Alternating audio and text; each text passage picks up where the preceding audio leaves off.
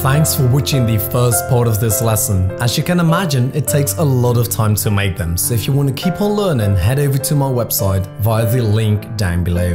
By doing so, you're supporting me into creating more lessons for you guys, and you can now get 20% off with the discount coupon YouTube20. Head over to my website right now and continue on your piano journey.